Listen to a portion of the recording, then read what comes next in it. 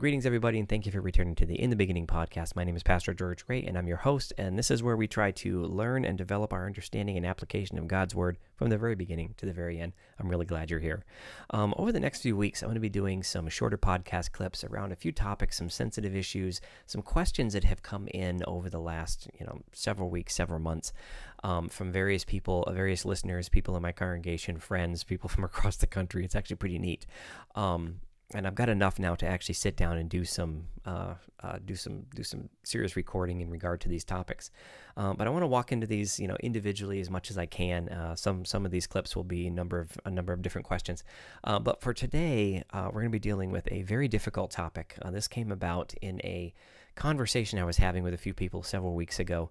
and the topic that we're going to deal with today, the question, I should say, is around the idea of what do we do when a believer becomes a deceiver. Now, that is first thing I want to do is acknowledge the significance of that question because that's not something you just take lightly. Uh, you take lightly. The idea of of saying that someone was once a believer and now not only are they not a believer, but they are actively teaching deception or what we would consider anti-God or anti-gospel ideas. Uh, that is not a uh, uh, a small thing. Now I understand where the question came from. Um, I understand what what what it's about and what it's around, but just giving an answer like you know crush them, you know that's not um, that's not enough. That's not not a good way to do it. Um, this question demands a larger answer. It demands something a little bit more comprehensive, and so we're going to walk through these pieces um, and spend a little time talking about what this what this topic really deals with because there's a lot going on in this particular question. So we need to want to we want to make sure that we're dealing with this this idea um, uh, in a uh, in a god honoring way and not just a flippant way that ends up making us look like we're you know quick to judge. Um, so the idea here first is making the claim that someone has not only left christianity but has become an advocate for the ungodly um, is something we should not just casually toss around. We shouldn't just lightly walk into that. Now mainly because just because someone does not believe or does not worship the same way that you do does not mean that they are not a true believer. Does not mean that they do not have the the redemptive spirit of Christ in their heart. They just may you know like a different type of service that you do. Now I got saved in the charismatic church and over the years I've known people who have left the charismatic church for denominational churches. I've never had a problem with that but I do know people who have had problems with that, and they think that because they're no longer in the church, the type of church that they got saved in, that now they're you know somehow not a believer. Or in order to be a true believer, you have to go to this type of church. You have to have this type of worship. Um, and it's you know to pray certain ways. You see certain things in your life. You need to speak in tongues. You know all this other other other man-made nonsense that we just need to kind of toss out. Um, this does not necessarily mean that we can just declare that they are not a real believer. That is that is just that is naive faith. That is that is arrogance, saying that in order to in order to believe Christ, you need to believe like I do. That is just silly. We should never allow ourselves to uh, uh, to fall into that kind of trap. So, uh, but that being said, that also does not mean that just because someone was a follower of Christ, that they do not have the means uh, to walk away you know, or another way to say it would be just because they were following in the path of Christ does not mean that they will stay on that path. Um, when you look at uh, Hebrews chapter 6, uh, verses 4 and 6, it reads like this It says, For it is impossible for those who are once enlightened and have tasted, and listen to the language here, and have tasted of the heavenly gift and have become partakers of the Holy Spirit. These are believers, whether you like it or not. These are believers, uh, and have tasted of the good word of God and the powers of the age to come if they fall away if they fall away, to renew them again to repentance, since they crucify again uh, for themselves the Son of God and put him uh, to an open shame. This is pretty easy to understand. There's not a lot of ambiguity here. So clearly, we can choose to walk away from the redemption of Christ. We can receive the redemption of Christ and, and then choose to walk away from it. Um, now that doesn't mean that everyone who backslides is now, you know, a a condemned, you know, uh, condemned ex-believer who has no chance but to go to hell. Is not what we're talking about. We don't necessarily know what it means to walk away completely because we know that the, I know from from personal experience that there have been people who have walked away from God and who have have recommitted. And some people will say, "Well, they were never believers to begin with." I, am I'm, I'm unwilling to say that. I think that's naive. Um, I don't think it's I don't think it's right to say that you know that a true believer will always be a true believer or someone who was uh, you know once saved always saved. I don't I don't believe that for a second. I think we have the opportunity to come to Christ, and I think we have the opportunity to leave. Um, now, where that line is, I'm not even going to pretend to know. Um, I, I, personally, it's it's not something that I'm ever going to care about. My personal um, uh, view is that I am I'm going to lean on the idea that Christ is here for everybody, and if someone turns honestly, even if they were there once, walked away, and came back, that Christ is going to be there for them. I, I have to believe that. Um, otherwise, I don't see it. It's just uh, because things just become too dark. Um, but in this particular conversation, this, idea of someone who was once a believer and has not only turned their back, but has now become a deceiver, one who is actively promoting false faith. This is a, this is a tricky one.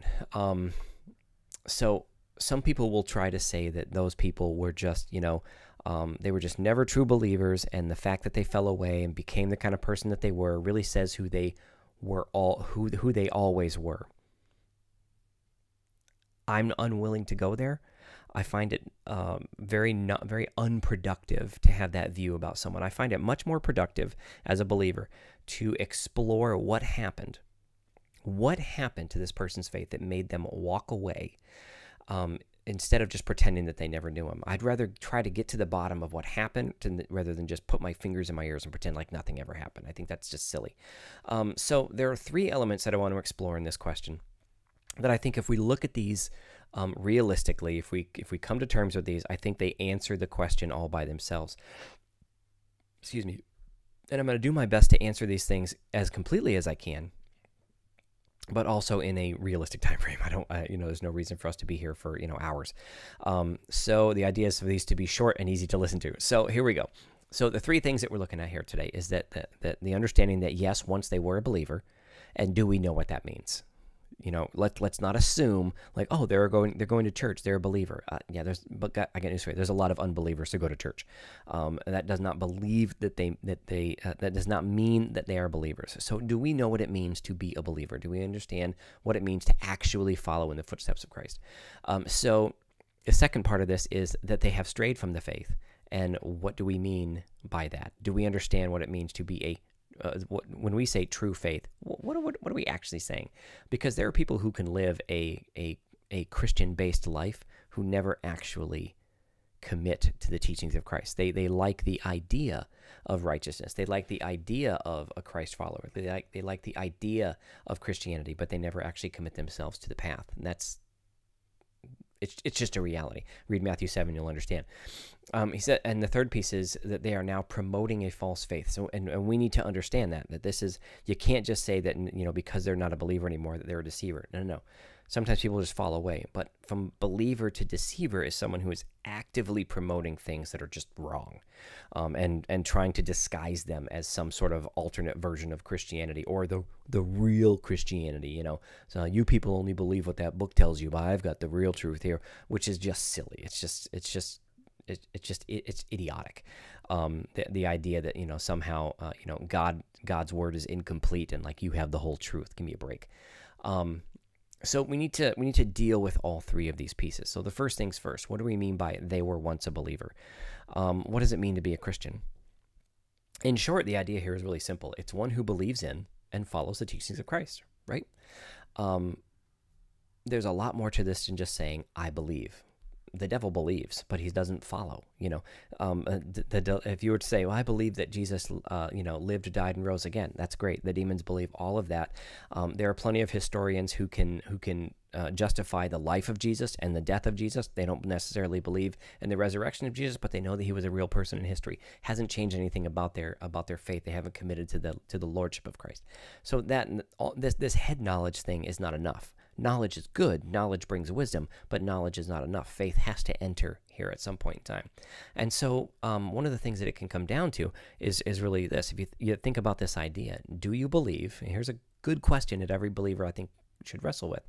Do you believe that Jesus is who and what the Bible tells us that he is? Do you believe in the fullness of God as outlined in Scripture, not the fullness of God according to you, not what you want to believe, not what you think is right, not what you think is is is is accurate, but do you honestly believe in what the Bible tells us of who and what Jesus is? Um, so let me give you a couple of ideas. Do you believe that he was born a virgin? Isaiah seven fourteen. The Bible says he was born a virgin. Do you believe that he was the only begotten Son of God? John three sixteen. Do you believe that he was born in Bethlehem? Micah 5 2. Do I have to believe that? Th- that, that That's not what, what I'm talking about. The Bible says it. If the Bible says it, is that enough for you to simply believe it? Um, now, now, do you believe that he came to give himself as an offering for the sins of mankind? The, the scripture refers to it as propitiation. Well, we get that from 1 John 2 2, 1 John 4 10, Romans 3 25, Hebrews 2 17, where it says that Jesus was a substitutionary offering for our sin. Do you believe that? Because that's what the Bible says that Jesus Jesus was and and, and who and what Jesus is. The Bible tells us that he will return for his church at the appointed time. We don't know when that time is, but we know he will return for his church at the appointed time. We get that from Revelation 22, 12, 1 Thessalonians 4, 16 and 17, Acts 1, 11, 1 Corinthians 15, uh, 51 and 52, other places throughout Scripture. Well, I don't like the idea of the second coming. I don't care if you don't like the idea of the second coming. This is what Scripture says about Jesus. Do you believe it? You know, how about this one? One the most important part that He is our salvation. Romans 10 9, that if you believe, uh, the, uh, um, uh, you confess with your mouth that Jesus is Lord and believe in your heart that God raised him from the dead, you will be saved. Do you, do you believe that you need to confess the Lordship of Christ? Do you need to believe in your heart that he was risen from the grave? Well, I don't, I don't, I don't know if I'm fully there. Well, that's what the Bible says about Jesus. Do you believe what Scripture tells us about Jesus? Because the only place where we gain understanding about Christ is in the Word of God. That's it. That that's our source. Scripture, and this is what it's going to come down to, is the central point of our faith. It is the it is the the only authority in in in Christianity. Without it, without scripture, Christianity is now subject to the whims of human religious leaders or people who just think that they have some sort of new revelation from God. Without scripture as our check and balance, Scripture, uh, uh, Christianity gets really, really weird, really, really fast. Uh, and it doesn't take long to look through the history of the church to see how people have taken Scripture, uh, taken their Christianity, pushed Scripture aside, and pulled the pulled the, the Holy Spirit told me card, and now all of a sudden they have license to do whatever they want. It never turns out good. If you want to see the lasting effect of solid biblical faith, you follow the groups who have always stayed true to the teachings of Scripture. They've never gone astray. But because God gave us His Word, okay, we believe Scripture is God breathed because Scripture tells us it was. Okay, B- because we have God's Word in our life, we now have a universal standard, a universal standard by which all areas of life are judged. All areas of life. If you want to know what marriage is supposed to be like, it's in Scripture. If you want to understand sexuality, it's in Scripture. You want to understand sexual identity, it's in Scripture. If you want to understand how the church is supposed to be run, it's in Scripture. If you want to understand how society and how our involvement in government is supposed to work, it's all in Scripture. If you want to understand the gospel message, it's in Scripture. If you want to understand sin, forgiveness, righteousness, heaven, hell, it's all in Scripture. All of the elements of our faith, all of the elements of our life are found in the pages of Scripture, book, chapter, and verse. So when it comes to following Christ, John chapter 1 tells us that Jesus is the Word made manifest. He is the embodiment of Scripture. So when we say we follow Christ, what we're also saying, what we're implying is we follow the teachings of Scripture, period. So as we follow the teachings of Scripture, we follow Christ. When we refuse to follow the teachings of Scripture, we're not following Christ we're following something else. We're usually following ourselves. To be a Christian is to believe in and follow Christ, and that means Scripture. That means that means the Bible. That means understanding the Word of God. Without Scripture, you have no basis for your faith. You have no understanding of what righteousness is. You have no understanding what sin is. You have no understanding what forgiveness is. All you have are human understandings that will change with time. When you claim to believe Christ, but you refuse the authority of Scripture, then in simple terms, you're not following Christ. You're following yourself. You're, you've made Christ in your own image. The Bible tells us that God made us in His in His image, in His likeness. But when you flip the tables and you decide scripture is no longer valid for you. And what you have done is you have made Christ in your image and you are following a fake. You are following a cheap knockoff substitute, something that has no ability to save, no ability to forgive, no ability to grant you an uh, uh, entrance into, into eternal life. You are following something that is just your own imagination, and that is a sad, sad place to exist. Um, there's no other place to find the teachings of, of, of Christ other than the pages of Scripture. Uh, but you have people in the church today who really have a difficult time with that. They don't like it. They say, you know, I learn from the Spirit that is within me. Okay, um, when you look at First John chapter four, verse one, here's something that we find. So when people say, "Well, I learn because the Spirit of God speaks to me," yeah, okay, great. Um, how about this one? Brothers, do not believe every spirit, but test the spirits to see whether they are from God. For many false, false prophets have gone out into the world. How do you test the Spirit? You test the spirit very, very simply.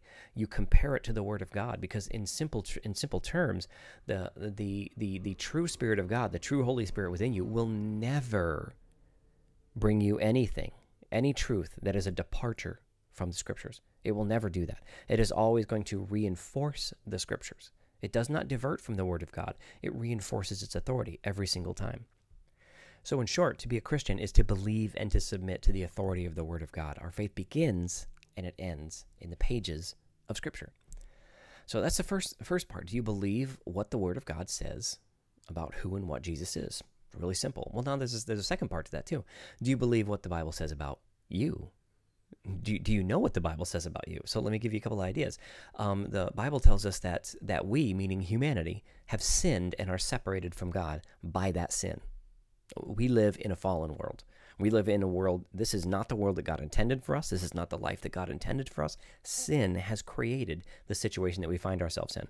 Um, that sin separates us from God, and that sin must be reconciled uh, so that we may come to God again. And we have no ability to produce that reconciliation on, on our own. We have no way to earn salvation, forgiveness of sin. We have no ability to bring ourselves back to God.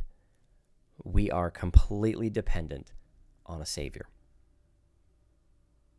that is really hard for people to get a hold of. Um, we are lost. Someone's got to come save us. We, we have the we, we are not capable of coming back to God on our own. We are not capable of atoning for the sins in our lives. We are not capable of bridging the gap in, in, in essence, if you read John John chapter three, that rebirth of the Spirit that is being talked about there uh, between John and Nicodemus, uh, between Jesus and Nicodemus, that rebirth of the Spirit that is required for us to be made right with God, we don't have the ability to rebirth the Spirit in ourselves. Someone's got to do that for us. And that means we need a Savior people today have a really hard time with this because it demonstrates that we are not naturally good. I was talking to a guy in a restaurant once, and he was actually writing a book about uh, about uh, it was basically about heaven and hell and the uh, the uh, the personal goodness within people.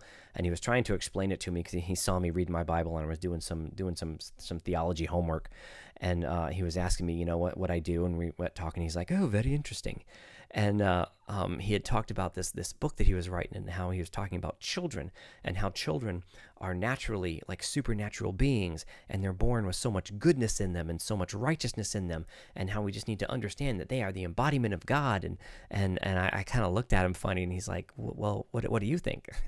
And I said I, I think that's that's an interesting premise but it is completely against the teachings of Scripture. We we are not born perfect and then we're subject to the to the whims of a fallen world and we're taught how to be evil uh, i think we're born evil I, I, think we're born broken. I think we're born with with a depraved heart inside of us. And the guy was like totally shocked. He couldn't couldn't believe. How can you say that? That is that is that is not how humans are. We're born with these amazing things, and then we're born with so much goodness, and then the world beats the goodness out of us, and then we become evil. I'm like, yeah, no, I don't. I don't think that's how that works. You put two two kids in the same you know the same area you put one toy between them one of those kids is going to smash the other kid over the head and take that toy. That's not a sign of you know overwhelming goodness. Um, this is this, is just the reality of we are broken. We are not good. Um, we we have evil within us. We have we we are the we're, we're not just subject to the evil in this world. We're the reason why evil is in this world humanity is what opened the door for for evil to be in this world. It was our sin against God that broke the world that we are now part of. We got to come to terms with that, you know. Um, that's really hard for some people to accept that they are not capable of making themselves right with God, uh, and that that difficulty sometimes actually keeps people from coming to God altogether. Um, some people will just never be able to accept it. Uh, I, in my pride, stood away from it for a long time. I'm going to be just fine, blah, blah, blah, uh, until I realized that I, I really am just as pathetic as the Bible tells me that I am. Um, so, uh, in a nutshell, what we're saying is that a person is a believer or that a person who is a believer, uh, what we're fundamentally saying about that person is that they are a person who has admitted that they are a sinner. They are living a life that is condemned by God. They have confessed that sin to the Lord and have fallen on the mercy and the grace of Christ, the forgiveness of sin offered through his work on the cross. And they have committed themselves to the lordship of Christ, which, which the lordship of Christ means that Jesus' word, the Bible, um, is, is the only thing that is going to guide us in terms of right and wrong. That is the lordship of Christ. He is the single authority in our lives. There's no other authority that we that we that we lean to. We may have to follow the the laws of man, but there is a higher law that we're attached to, and it doesn't make any difference. If the if the governing authorities of our world says it says like this is now legal, but the word of God says that this is this is not good, guess what?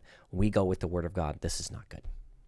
So that is the lordship of Christ. They've committed themselves to the lordship of Christ, Christ and to learning and following the teachings of Scripture. That is what it means to be a Christian. We know that we are a sinner. We know that we need a Savior. Christ is that Savior. We submit ourselves to Him, or we submit ourselves to His Lordship. We lean on the grace of God and the forgiveness of Christ, forgiveness of Christ through His sacrifice on Calvary, and we follow the teachings of Scripture. That is what it means to be a Christian. Going to church, that's great. You should. You need to be part of a community of faith but that is not what saves you. Your denomination can't save you. Your Christian parents can't save you. Having 10 Bibles at your house does not save you. I got uh, you know a bunch of uh, a bunch of diet books in my home. It doesn't make me thin. You know, um, I can have a membership to a gym. It's not going to make me healthy. I've actually got to do it. I've actually got to go live the life that that I'm claiming that I have. Uh, and that's what it means to be a Christian. So, initially, when we talk about someone who was a believer, that's what we're saying that that was a person that was the life that they had. They had committed themselves to christ um, and and they had they had committed themselves to uh, they had they come to the point where they realized that they were they were a sinner that they needed christ they needed redemption of christ. They have committed themselves to that process. That's the first step in that equation.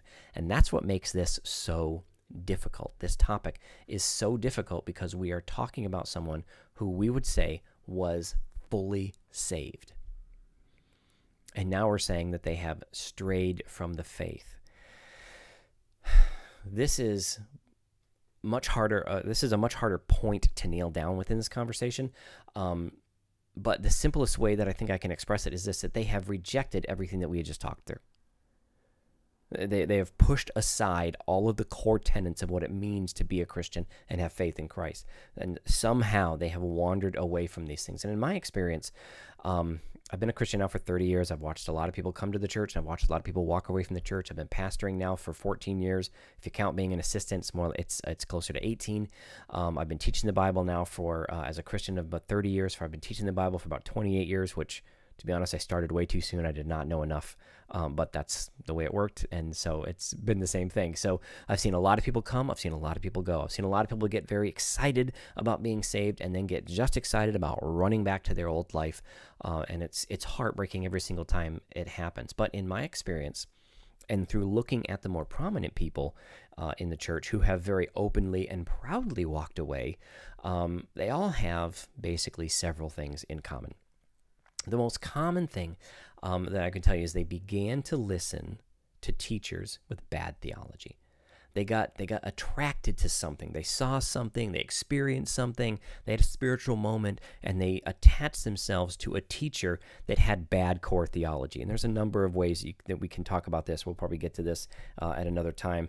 But fundamentally, they ended up attaching themselves to a teacher with bad theology low level training. Um, the thing that drives me the most, uh, drives me crazy the most, is when you get someone uh, you'll see this a lot on YouTube, where you get someone who um, uh, they'll say something along the lines of, you know, uh, uh my I, I, don't teach in my church, um, so you know I had to I had to get this out there, so I started a YouTube page uh, a YouTube channel. Um, that that that's great. Um, now, my first question is, why is it that you're not allowed to teach in your church? What is it that your pastor sees in you um, that you are somehow rejecting or, or discounting? What is going on that um, that you have essentially rebelled against the authority that God has placed in your life and decided that whatever truth you think you have is now so valuable that it has to get out to the world in an uncontrolled way because YouTube is a completely uncontrolled platform when it comes to these types of these types of lies and deceptions.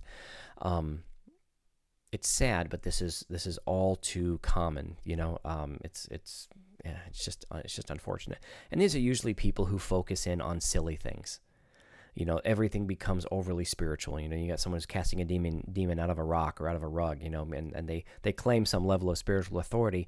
And to the spiritually naive, that becomes some sort of draw like oh look look look look you know? They're so spiritual they can see demons in in rocks you know? That's uh, okay um no. And these are typically people who have never actually been discipled they've never actually been taught. They haven't devoted themselves to disciplined study. Um, they've just decided that whatever whatever spiritual thing comes into their mind, then that must be from God, right? Because I have the Spirit within me, so whatever the Spirit is saying in me, that must be fine. Uh, that's a that's a dangerous place to be. Um, and but they end up being very attractive to, uh, as carefully as I can say this, the spiritually naive or the spiritually uninitiated, people who are new in their faith. They don't know better than to be able to see through these people into what they actually are doing. Um, now the uh, and what happens is they deceive, they start to influence these people. And it's always the same thing. They influence them away from the authority of Scripture. Somehow, the authority of God's word becomes secondary to the spiritual authority that you think this person has. And then God's word starts taking a back seat and this spiritualism, which is really all it, all it is, starts becoming the main authority. So the the the mantra that you end up find you'll end up hearing a lot, and this is this is just all over the place is is trust the voice within more than the word on the page. And they'll say things like, well, the Bible was manipulated. These are people who don't understand how the Bible was put together. They, they watched a very poorly made YouTube video and now they think they're an expert. Uh, but the truth of the matter is they have no concept of what the, what the Bible is, how it was put together, or the amount of trust that you can have in its, in its construction and in what it says. Uh, they talk about the difference, you know, what are called variances. You know, oh, there's, there's so many different versions, different, the Bible's been, uh, you know, there's so many different parts and pieces of the Bible and they don't, they don't agree um, uh, which is which to a, to a degree is is uh, is true, but they never actually understand the reasons why they disagree, and they they just look at the numbers. You know, there's so many tens of thousands of different places where the Bible disagrees, but they don't understand what those disagreements are. They're called variances, and there's actually um, none of them actually ever change the the theology within the text that most of them are things like you know the sky is blue or blue is the sky you know they're they're just they're just honest copying issues. And if you actually understood translation, you'd understand why they exist. But these are people who don't go through the training to understand the claims that they're making. So instead, what happens is they formulate an idea and then they try to find any sort of tangential evidence to try to support that idea instead of actually learning you know going into and, and trying to study the, the, the subject and uh, understand and figure out whether or not they actually understand things as well as they think they understand. And 90% of them just don't. Um, they just they would rather be spiritual than true, which is which is unfortunate. But it's it's just uh, all too common in today's world. Uh, but whenever you whenever you hear someone say, you know, I'm, I'm going to trust the voice in me more than the word on the page, you immediately know you're dealing with someone who you should not listen to. Period, because they don't know what they're talking about. Um, and these are typically people.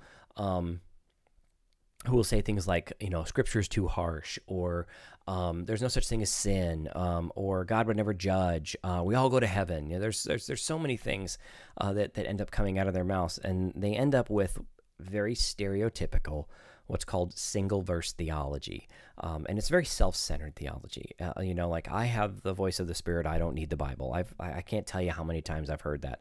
Um, they, where they used to talk about, about the Bible as the Word of God or Scripture, now all of a sudden it's that book you use, that book you use, or that book some people use, or that thing you call the Bible. And it's just, it's, it's unfortunate to see people fall that far uh, because it's it's always arrogance that, that brings them to that point. They're so much more so convinced, so much more convinced about their own spiritual superiority that they can't lean on anything other than their own views.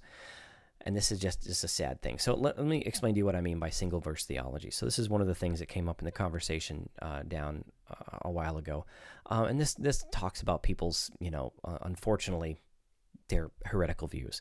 Uh, and this is what happens when people don't actually look into the Bible. They just find a verse that makes them feel good about you know that that particular belief that they have. So when you look at uh, John fourteen twenty six in a standard translation, uh, this is uh, the New King James, um, and, and it says this: says, "But the Helper, the Holy Spirit, whom the Father will send in my name." This is Jesus saying this. He will teach you all things and bring to your remembrance all things that I said to you. That sounds so good. If you just take that one verse, it can make you think, you know what? I don't I don't need the Bible. Um, I can just trust trust the Spirit, and it's it's so interesting to me how common um, people pull the, how commonly people pull this verse out to try to justify their their uh, view that they don't need the Bible. So they're using the Bible to justify this idea that they don't need the Bible, which is which is pretty ironic, right? Uh, their their source of authority for why they don't need the Bible comes from the Bible, uh, which is really unfortunate. Uh, that should that alone should should should tell you that you probably shouldn't be putting a lot of faith in whatever this person is saying. Uh, but now check this out. So what happens when you take a single verse like that and you try to build a doctrine around that? Um, now, can you? Sure, yeah, you can build a doctrine around that. Um, but what I find more helpful is to do something like read the other verses that are around it to make sure that you actually have it in context. Context is important. Context keeps us from looking silly. So now check this out. So I'm going to read um, uh, this the same passage, but I'm going to go up three verses to 1423, and I'm going to start there and read down through. Uh, and then what I'm going to do is I'm going to show you what this sounds like in a different translation because we read different translations for a reason because they reveal different things, different different ways of expressing things, help us understand more of the concept behind it. So so check this out. So 14, uh, uh, 23 through, through 26. Right off the bat, Jesus answers, Jesus is being questioned. It says, Jesus answered and said to him, If anyone loves me, he will keep my word. Now, you notice it didn't say my words, it said my word.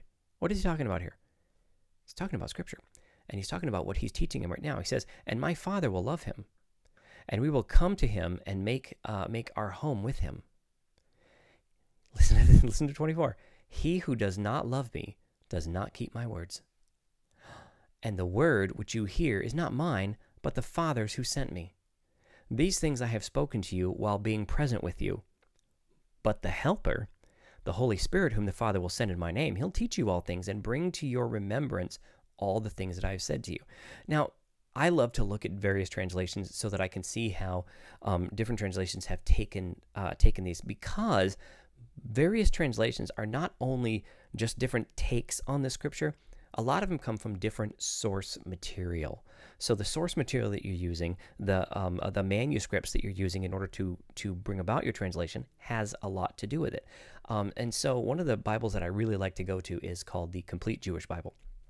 And this basically is a messianic uh, Christian Bible. So they keep in the old Hebrew names and they provide things from a Jewish perspective and a more historical perspective. Uh, and I think it's just a fantastic way of looking at this. But now let's just, just look at verse 26 in the complete Jewish Bible and, and see what this what this says. See if this changes things a little bit for you. Um, it says, uh, but the counselor, the Ruach HaKodesh, which means the Holy Spirit, whom the Father will send in my name, will teach you everything that is, he will remind you of everything that I had said to you. Well, now, hang on a second. He will teach you everything. Basically, saying, what I mean by that is, He will remind you of everything that I have, I have said to you. This is not a section of Scripture that validates continued revelation, uh, the personal revelation. The Spirit of God is just going to speak to you new things, new truths about God. That is not what this is saying. What this passage is actually saying is if you love me, you will hang on to my word. But I'm teaching you a lot of things. Therefore, the Holy Spirit, whom God will send, is going to remind you of the things I have already said. This is not a refutation of the Word of God. This is a support of the Word of God. And this is letting you know that the, the Holy Spirit's intention is going to be to remind you of the things of God, the teachings that Jesus is bringing, the Word of God, because Jesus is the Word. Now, inev- inevitably, when you when someone who has once walked with God rejects the, the scriptures as the authority, they will become an, author- an authority unto themselves, and this is this is where the disparity comes in. Um, now, because you won't embrace their authority, that you won't embrace what the Spirit is telling them, because they don't want to commit to the Word of God, they want you to commit to the Word of them. You become the one who is in bondage. You become the one with the issue, and they're the spiritual one. They're the one who's free. This is a bad place to be.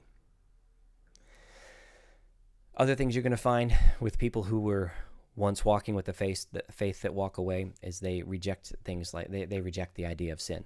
Sin, can't be true uh, because God is love. Uh, well, God is also the judge, and what is He going to? What is He going to judge? Why are we told to repent so many times? What does repentance mean? It means to change our mind. To change our mind means to admit that what we were doing in the direction we were going in is ungodly, and to turn ask for forgiveness, and then begin to walk in godliness. That is the fundamental, uh, the fundamental tenets of repentance. We change who we are. We change the way we think, and we start doing things God uh, God's way, which means the way we were doing it was sinful, and the way we're doing it now is now godly because we have repented. We're told this over and over again, you know, and I'm sure, you know, people like Hitler would love the idea that there's no such thing as sin and we all go to heaven. I'm sure he would really love to be in heaven after the travis, you know, the tragedies that he has committed, you know, over the over his uh, his time while he was still on earth. I mean, it's just it's just silly. You know, if there's no such thing as judgment in hell, there's no such thing as sin, what did Jesus come to do? What what was the point of the cross? What is the point of the word propitiation, substitutionary offering? What is it that separated us from God? What is the rebirth of the Spirit? What was that supposed to do? This is all about reclaiming what was lost, folks. This is not about you becoming powerful. So, what you're looking for in the lives of someone who was once a believer, remember, let's go back to the question that we're dealing with. What, what do we do when a believer becomes a deceiver? What you're looking for in that person is a denial of the elements of the faith that make Christianity Christianity. you hear trucks driving by. Um, what you're not just looking for someone who has a different worship style than you do. You know, well, I can't believe they listen to that kind of music. Who cares? God doesn't worry about isn't worried about the music that you worship to. Um, that, that's not what I mean. It's the heart condition that matters. It's the understanding of what a Christian is and what a Christian is not. A Christian is someone who has leaned on the forgiveness of Christ, and a Christian is not someone who's just trying to become a better person. The difficulty with this is that typically when we're talking about this, we're talking about someone who used to be a friend, or maybe still is a friend.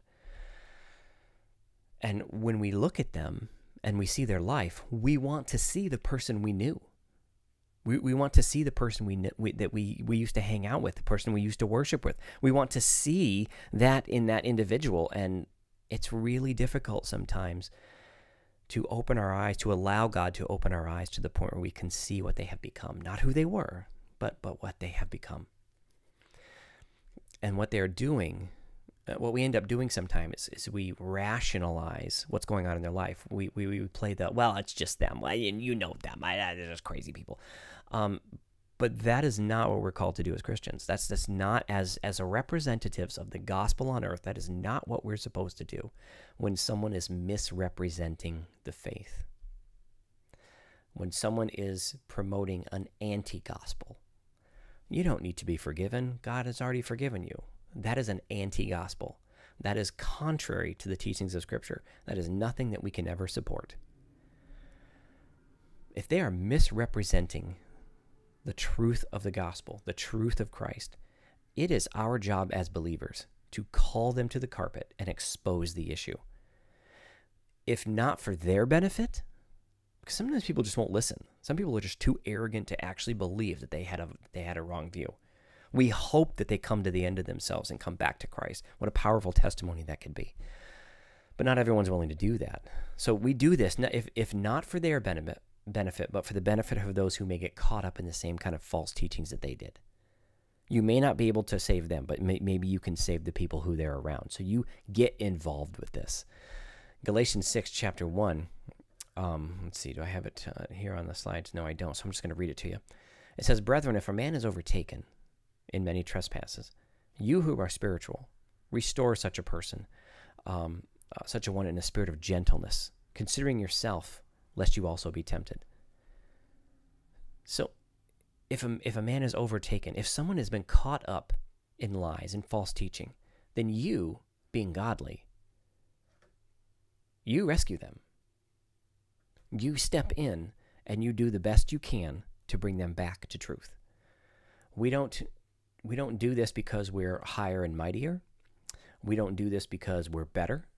We do this because in the right circumstances, we could be in the same place under the right circumstances with the right manipulation under the, at the right time we could have ended up in the same place and we can't we can't do that we need to we need to care about them enough with gentleness considering ourselves because we don't want to be tempted by this crap either we step in and we do the best that we can so what do we do when a believer becomes a deceiver when someone who has once embraced the core tenets of the faith who has now denied the not only denied the core tenets of the faith, but is teaching against the core tenets of the faith.